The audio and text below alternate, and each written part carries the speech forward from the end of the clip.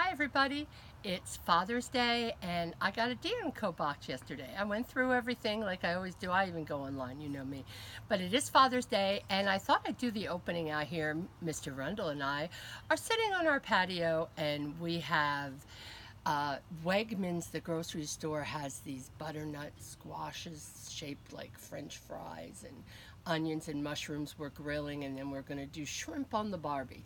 So that's how we're celebrating Father's Day. Our three sons have already been in touch with him and they're kind of daddies so they're busy having their Father's Day so we're alone and quiet and enjoying every minute of it.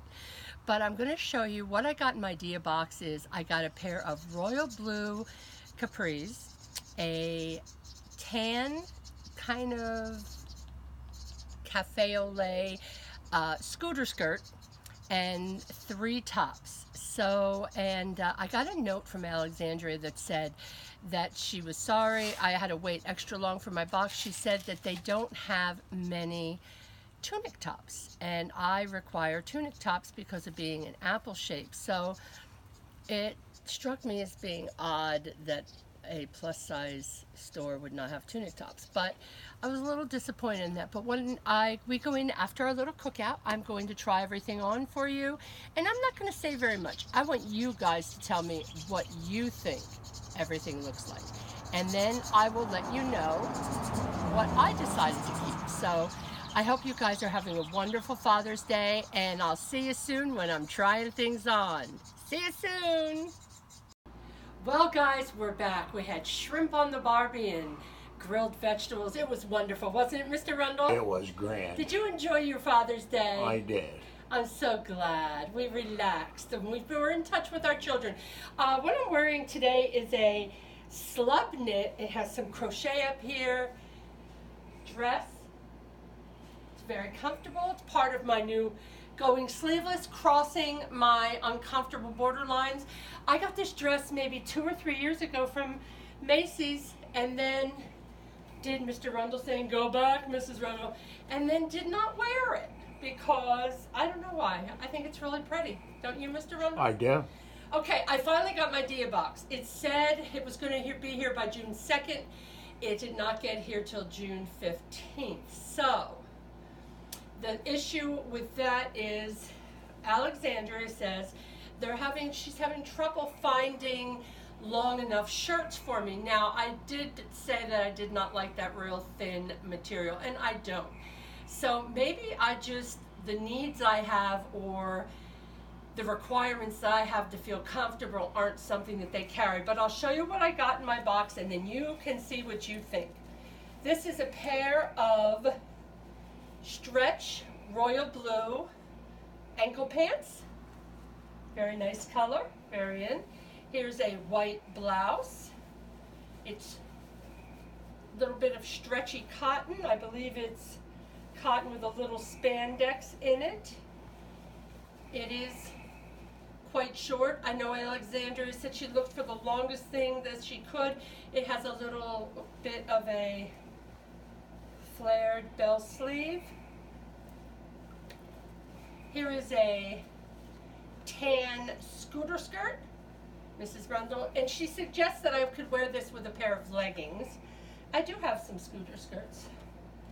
And then here is a chiffon top with a floral pattern.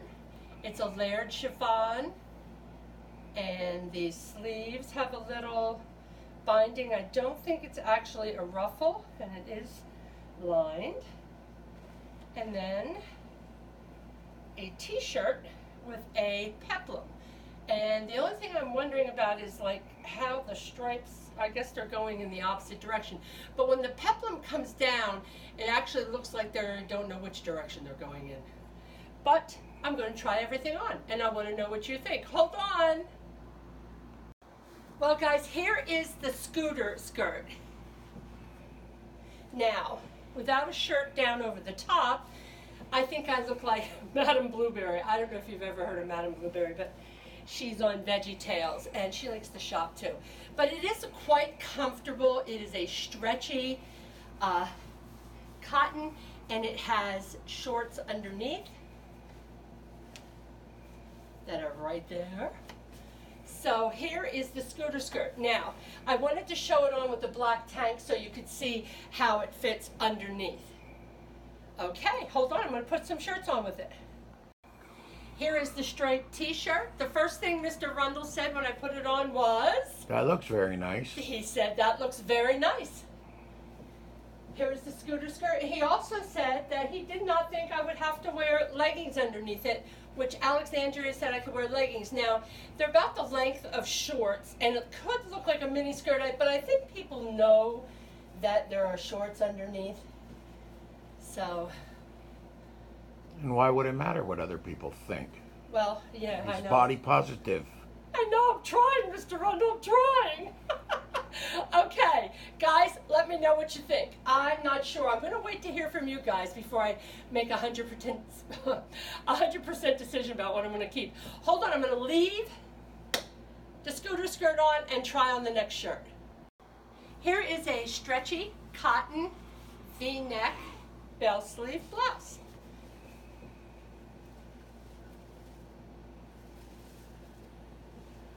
It's nice and big. It's plenty big. It's almost a little too big. But I'm always between sizes. That's just Mrs. Rundle. I'm always in between. Things are either like just fit me or big. so here's the blouse. Let me know what you think. I'll give another twirl around. There we go.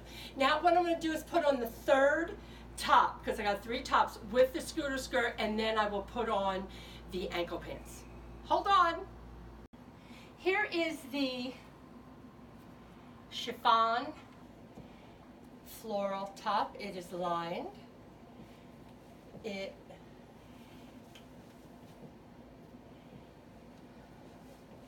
has caging up here. I don't know. So you guys have to tell me what you think. Kind of bat wings, a little dolman sleeve, a little wide, but uh, see what you think. Now, the thing I have left is the royal blue ankle pants. Hang on. Well, here I am in the royal blue. Now, you notice the shirt.